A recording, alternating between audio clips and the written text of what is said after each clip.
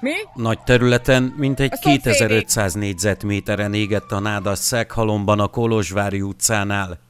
A tüzet az okozta, hogy egy családi ház kertjében szemetet égettek, a lángok pedig átterjedtek a kert végén lévő nádasra.